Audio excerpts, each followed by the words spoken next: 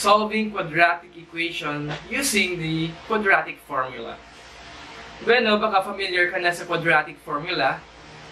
That is the negative b plus or minus square root of b squared minus 4ac all over 2a. Pero saan nga ba galing si quadratic formula? Since formula yan, yan so dapat may origin siya. Saan nga ba siya nagmula? Bueno, bago natin gamitin itong formula, dapat alamin muna natin kung saan nga ba yung pinanggalingan niya. So, nanggaling yan sa ating standard form. ax squared plus bx plus c is equal to 0. So, isulat natin dito. ax squared plus bx plus c is equal to 0. Gamit ang ating standard form at ang completing the square, makukuha natin si quadratic formula. So, gamitin natin yung process ng completing the square. Isolate natin si constant term. In this case, si c. So, meron tayong ax squared plus bx is equal to negative c. Meron tayong co numerical coefficient dito na a. So, i-divide muna natin yung buong equation ng a. So, i-divide natin dito ng a. Ganun din yung right side.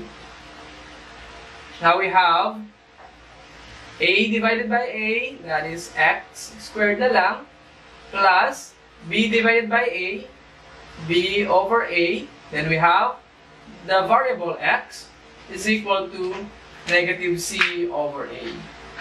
O bakit meron tayong mga letters dyan? Kasi hindi natin alam yung exact value nila. So ginagamit natin yung mga numerical coefficient. Now, gawin na natin siyang PST, the perfect square trinomial.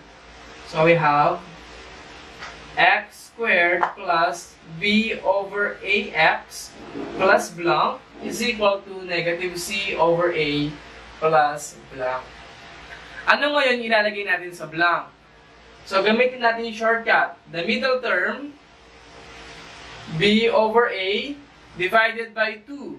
O magiging, multiply na lang natin sa 1 half, then square natin. b times 1, that's b over a times 2, 2a. Then, square natin. Now, meron tayo, lalagyan natin dyan ay b square all over 2 square 4 then a square a square. So ilalagay natin sa ating blank i, erase natin yung blank kasi fraction, b square all over 4a square. So dito din, b squared all over 4a square. Ayan. Next, gawin natin siyang square of a binomial.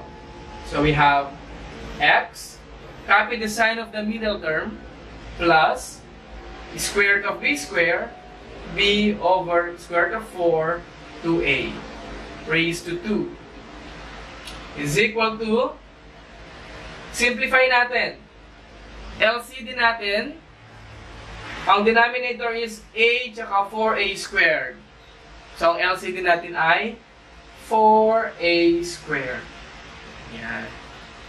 Then, 4a squared divided by a, 4a, times the numerator, negative c. So, negative 4ac. Then we have, copy b squared. Kasi parehas na sila ng denominator.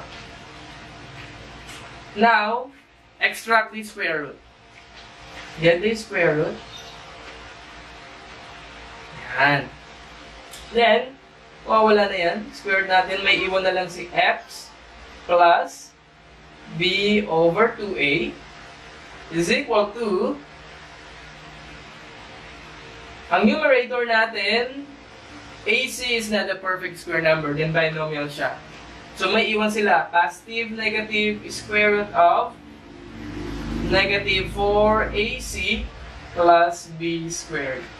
All over, itong denominator, perfect square numbers. So, pwede natin siyang ilabas sa ating parentheses. So, square root of 4, 2, tsaka a na lang. So, yan. Then, continue natin dito. So, mangyayari, ilipat natin si b over 2a. Transpose natin, may iwan na lang si x. Is equal to negative b all over 2a. Nilipat natin siya. Lagyan na natin sa unahan. Then, positive, negative, square root of negative 4ac plus b square. Meron tayong denominator over 2a. Yan. Then, since similar fractions sila, pwede natin i-combine. So, x is equal to negative b plus minus square root of negative 4ac plus b square all over, denominator natin, 2a. Equal na ba sila? Yan. So, in this case, nauna lang si b squared. Pero pwede natin i-interchange dito. So, x is equal to negative b, positive negative is square root of b squared, siya yun, minus 4ac all over 2a. And this is now our quadratic formula. Parehas nito. So, ayan si complete, uh, si origin of quadratic formula. So, dapat master mo talaga yung ating completing the square tsaka si extracting the square roots. So, ayan ang origin ng ating quadratic formula. Proceed tayo ngayon sa solving gamit ang ating formula. Proceed tayo sa solving examples.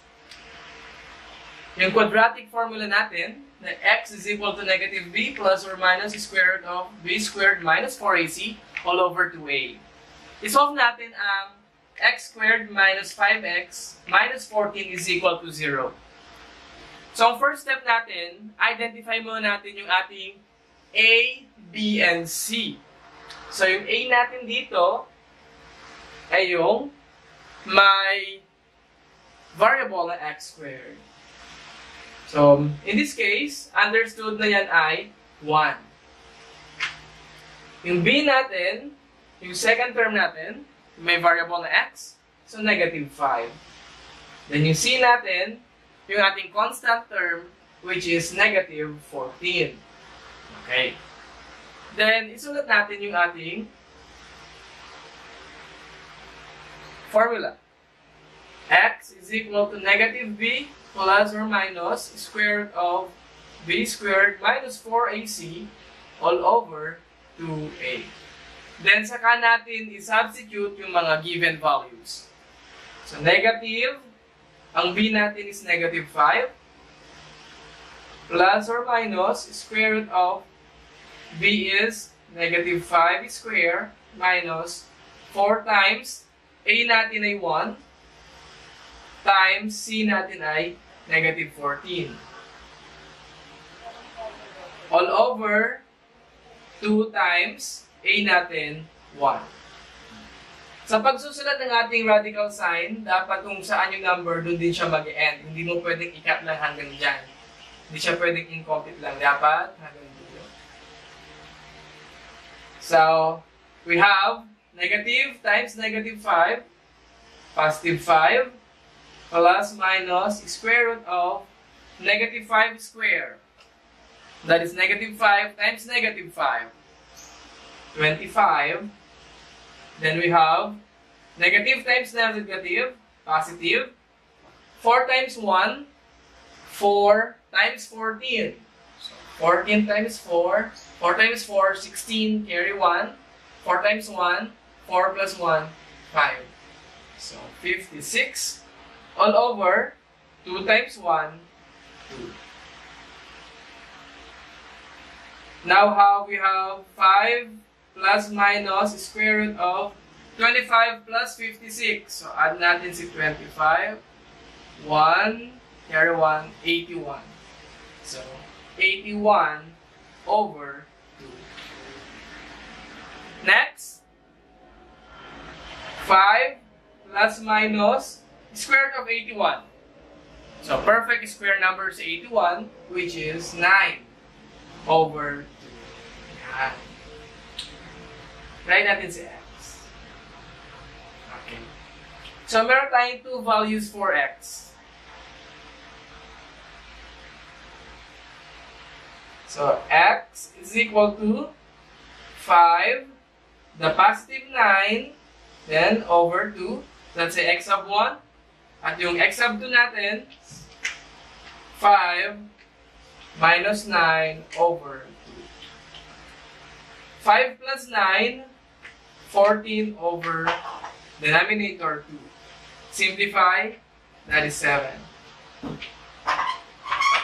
And next, x sub 2 is equal to 5 minus 9, negative 4 over 2. So x sub 2 is equal to negative. And those are the values of our x. x sub 1 is 7, x sub 2, negative 2. Another example tayo. Our second example. 2x squared plus 3x minus 27 is equal to 0. So, identify muna natin si A, B, and C. Our A is 2, B, 3, and C, negative 27. Yan. And, substitute natin sa formula. So, pag memorize, okay lang, kahit di na isulat. Diretso, substitution na tayo. Negative, B natin is 3. Positive, negative, square root of. B natin is 3. Then, we have the square. Minus 4 times. A natin is 2. Times. C natin ay negative 27. Again, kung hanggang sa yung number, hanggang doon din natin yung radical sign. All over 2 times, ang A natin is 2. Then, simplify na natin. So, x is equal to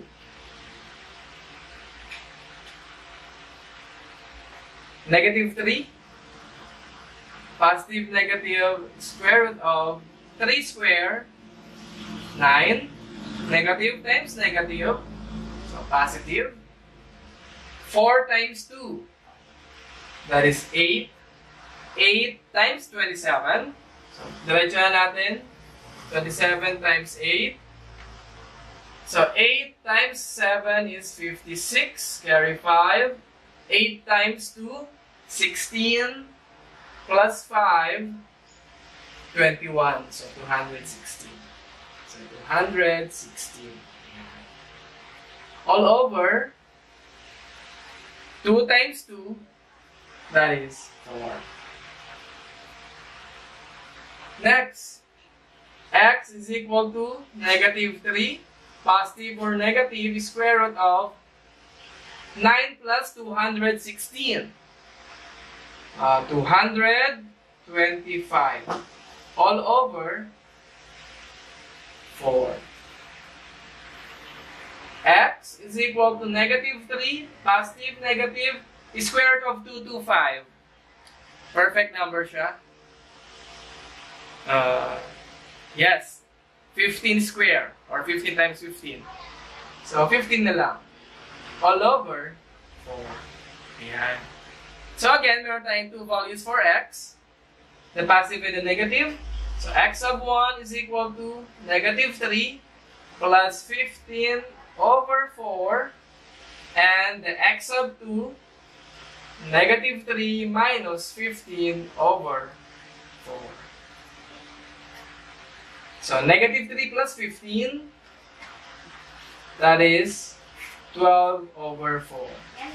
Simplify 12 divided by 4, 3.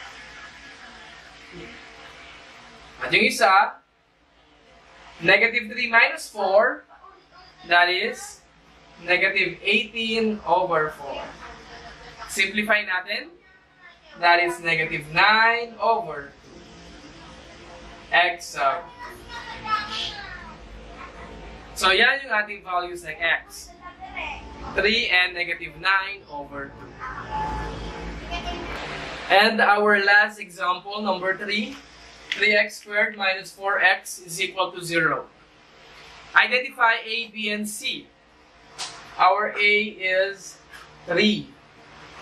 B, negative 4. Ang C natin dito, wala tayong constant, so 0. Then substitute na natin. So x is equal to negative b. So negative, negative 4, si b natin. Plus minus square root of negative 4 square minus 4 times, ang a natin is 3, times, ang c natin ay 0. So 0. All over 2 times a natin is 3. Is equal to negative times negative. So we have positive 4 plus minus square root of negative 4 square. 16 minus 4 times 3 times 0, 0. All over 6. 4, positive negative, square root of 16 minus 0, 16. All over, copy 6. Simplify natin. 4 plus minus square root of 16. Uh, 16 is a perfect square number. So, 4 over 6. Yan. So again, meron tayong two values for x. We have x sub 1 is equal to 4 plus the positive 4 over 6. At yung isa, x sub 2 is equal to 4 minus 4 over 6. So 4 plus 4, 8 over 6. Simplifying to lowest term, 4 over 3. At yung isa, 4 minus 4, 0 over 6, and that is 0. So, ayan ang ating quadratic formula. Madali lang yan pag madaming practice. So, i-practice ninyo yung mga modules ninyo o kaya yung handbook para mas madali ninyo ma-solve ang quadratic equation.